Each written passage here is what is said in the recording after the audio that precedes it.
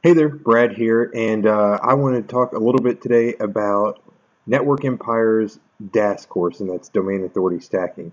Now, what it is, is a way that they show you how to safely manipulate domain authority and trust to your site. And uh, to be honest, it's one of the best courses I've ever taken.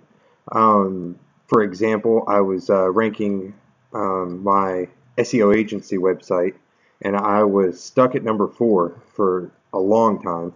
And um, I did some authority stacking, a specific stack that uh, Jimmy and the team at Network Empire uh, showed how to do, and it shot from number four all the way up to number one, and that was well over six months ago, and it's still still strong after you know after all the updates. We've had uh, I think Hummingbird since then. We've had a few others. We've had the Skyfall update; it survived that when a bunch of bunch of them tanked. So I was able to rank, uh, you know, my city SEO site for um, you know a pretty pretty good term, and you know mainly DAS and a few PBNs, and that's it.